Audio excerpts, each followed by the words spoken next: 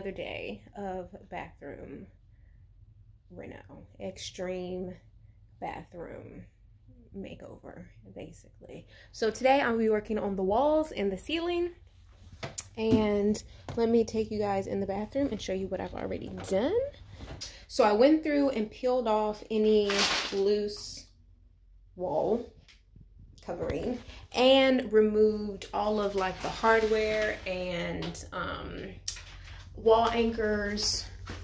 These over here, I actually just pushed them in. I saw somebody do that. And so now I'm gonna go through and sand the walls down, any like super high points. Um, how fresh and clean that looks. Love it. Um, yeah, sand down any high points and then on the areas where the brown paper is visible. I was watching this video yesterday and they said those areas need to be sealed or like they're gonna cause future bubbles. So found this at um, my parents' house. This is not exactly what he used, but it seems basically the same thing. So um, that's what I'm gonna use. So I've gone through and sanded the walls as much as possible. Like this wall isn't that bad. We do have a patch here that I put that primer sealer on as well as around the door. We're gonna add the trim back so I'm not like too worried about that right there. And then over here, like you can see it still look quite raggedy, but I tried to pull up as many of like the bubbles as possible. This is where most of the work is going to be. And then there was also like a bubble around the window sill here. That's still wet. So now I'm going to use the joint compound. I got the lightweight. I got this ultra lightweight one. It says to try it without water first. I've seen people like mix it with water so it's easy to spread on. So I'm going to try that. If it it's too thick, then I'm going to add a little water to it so it just smooths on easily. We're just doing a very light skim coat.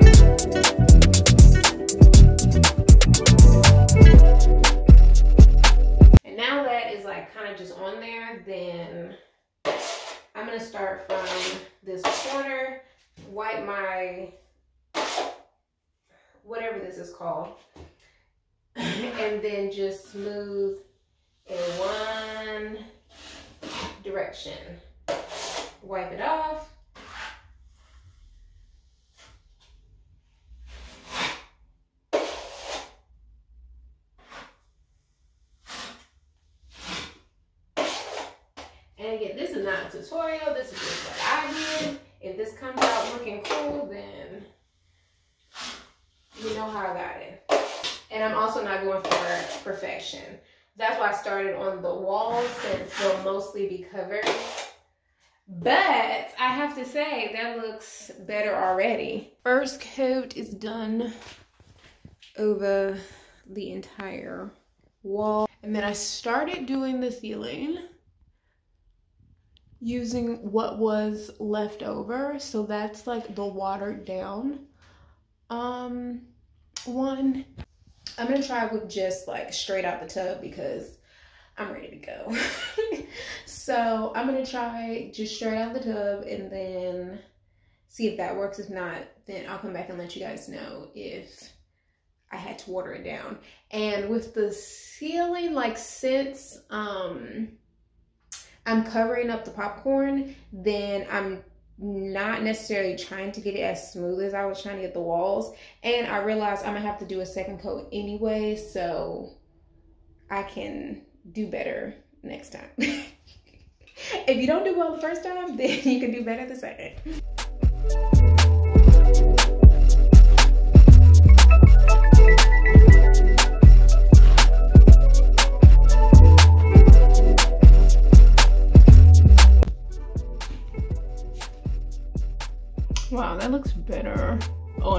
Way better on camera.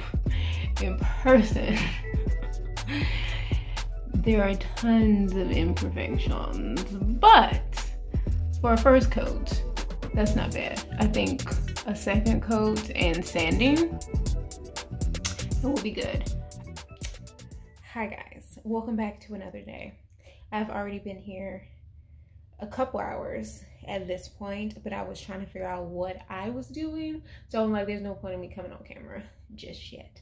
But let me show you what I've done. Look at us. We got some baseboards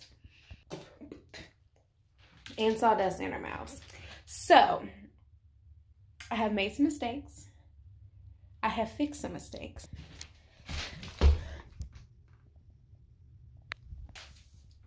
But we're on the last um, wall that we're doing today. As you can see, these still haven't been patched. And I think I know what I'm going to do, um, but I'm going to wait on that. So I'm really just doing the molding, the baseboards on the walls that I can. So I'm going to do this measure and cut this piece.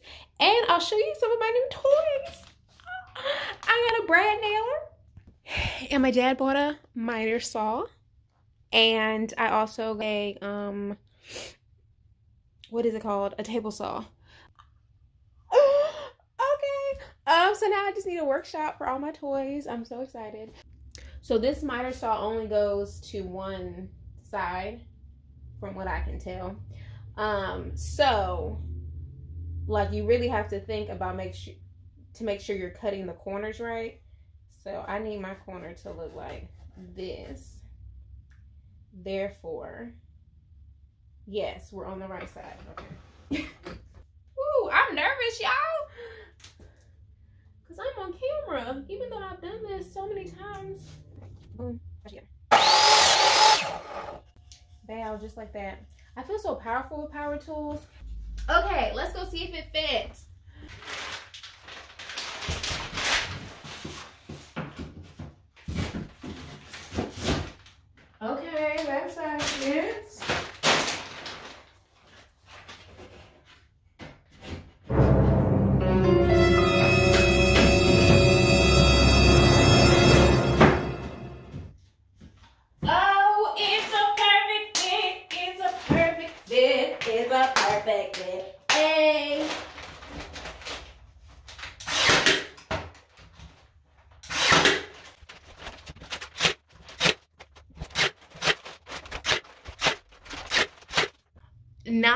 Prettiest, but what else in here right now is, except for the floors.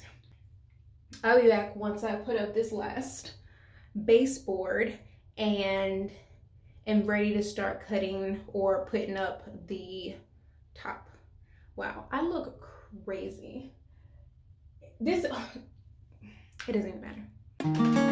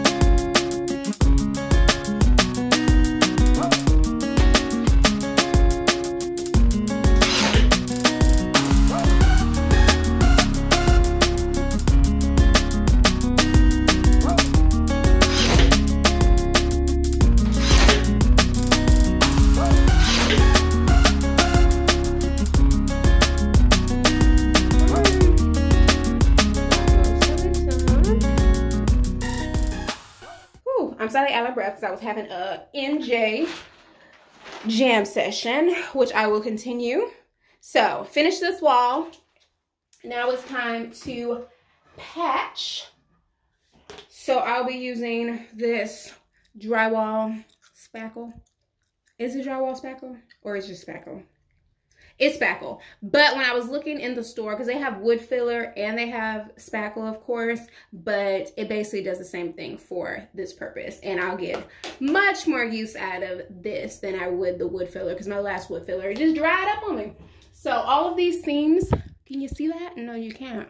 So all of these seams between the top and the bottom, as well as where I had to join pieces, do not look too close at this one because again, they weren't perfectly straight, but once I put this on the wall, I wasn't taking it off. So we're patching these seams and then um, also the knots in the wood, the baseboard wood, or while that is drying, honestly, then I think I'm gonna put up this light or build this medicine cabinet box. Haven't decided which one. And then after that dries, we'll come back and sand, caulk, and prime. I got to be strong.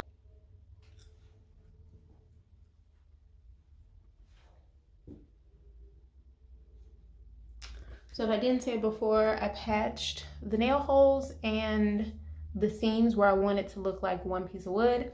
I did not do it at the bottom. I'll be caulking those. And if you don't know, the way I decide spackle or like wood filler is if you want it to look like one piece of wood. And then caulk is like when you're joining two different types of materials, usually on like an angle. So that's a 90 degree angle. So I'll be using it there. The bottom seams, and then like also like of course like around the tub and things like that. And that's more for water sealing, but then also like around the windowsill there. So I'm just gonna let all of it dry. Like you'll see like here, some of these are already dry. Um, but I'm just gonna wait till like it all dries so I can just sand like a mad woman. Okay, jam session continues. He said, just because you read it in a magazine and see it on the TV screen, don't make it factual, actual.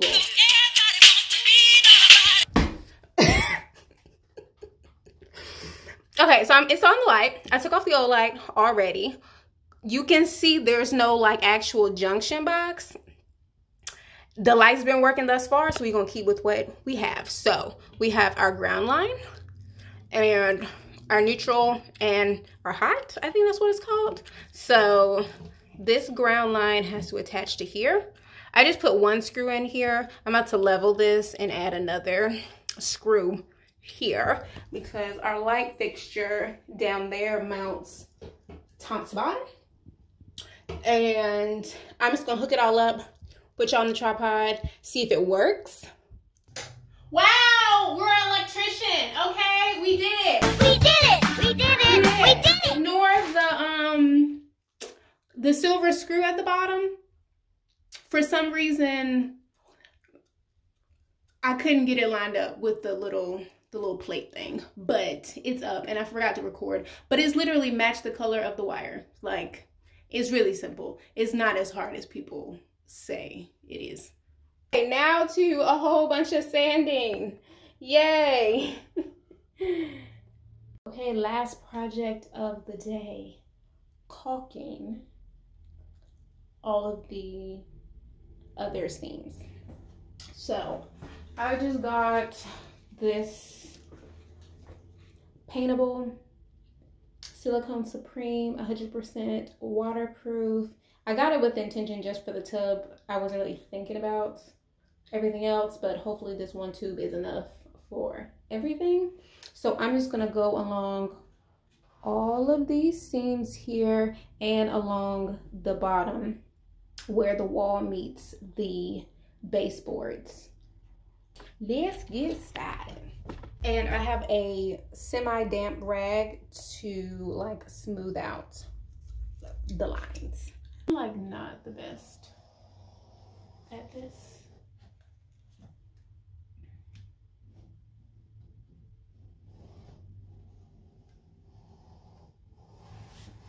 I'm just gonna dampen my finger a little bit and then just smooth it out. Wow, it looks so much better already. It's just like all of these steps are like so minor, but really make a big difference in the end. Okay, so I'm gonna do this so I can hear him get out of here. Okay, caulking is done. So I don't even know if you can tell, but like here, there's caulk around there. But like over here, I didn't caulk. So I got tired. So I did all along the baseboard because it was like a big gap in some places and all around the window sill because again there were gaps but along the sides of each bed like here then I didn't do every single one because it's pretty flush to the wall. So after I prime it, I'm gonna decide if I need to do it again, but or go back and do it